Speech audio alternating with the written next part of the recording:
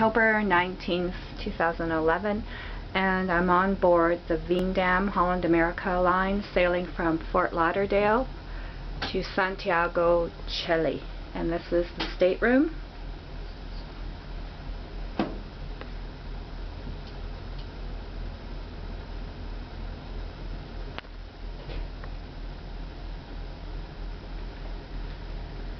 Bye.